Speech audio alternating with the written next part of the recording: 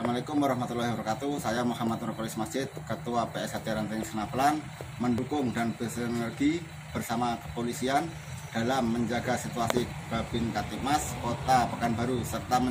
mematuhi protokol kesehatan Dalam memutus mata rantai virus COVID-19